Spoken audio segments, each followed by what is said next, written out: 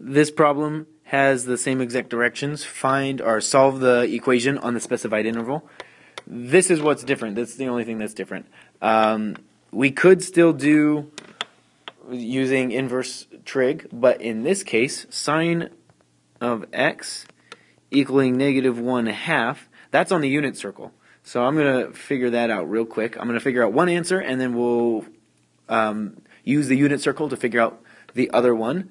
And then after that, we'll write um, write it so that it, it's every answer within that interval. Uh, that's with like a plus or a minus k. So uh, let's see. If we had the unit circle like this, uh, sine is the y coordinate. So I think sine is one half here, but I want negative one half. So it's actually down there. Um, which it turns out to be, I mean, you could start it with a negative pi over 6. This is negative pi over 6, I think. So you could start out with negative pi over 6, or you can actually start out with what? Uh, 1 pi over 6, 2 pi over 6, 3 pi over 6, 4, 5, 6, 7, 8, 9, 10, 11 pi over 6. Uh, both of those are exactly the same spot. So I'm just going to do, I think it's easier to do negative 11, or sorry, negative pi over 6, um, just because it's going backwards and it's you just count once instead of counting that whole way around. Um, so that's the first spot. What's the other spot? Well, I guess I'll say or 11 pi over 6. That's weird. 11, not pi. 11 pi over 6. So I'm going to just use this um, for my answer, but they'll, they'll be the same thing. So now I'm trying to find the other location where sine x equals negative 1 half. Remember, sine is the y coordinate, so if you were thinking up here, that's wrong because that would be positive 1 half.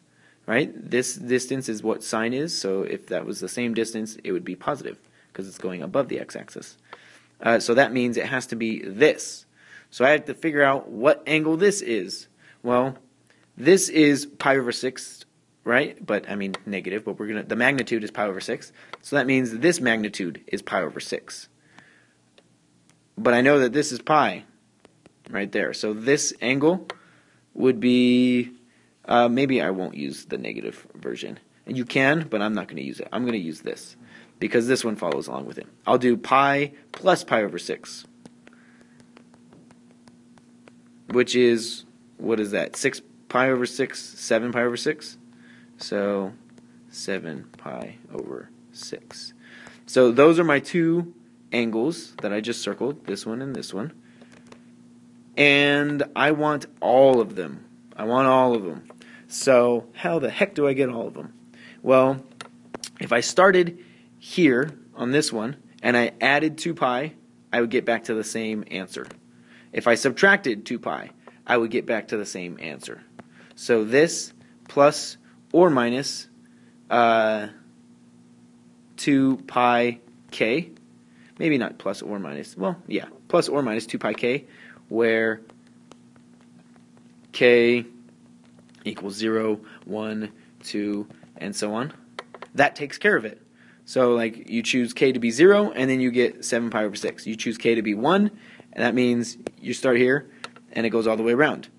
Um, if you're adding or if you're subtracting, you're going around in the other direction. That's all it is.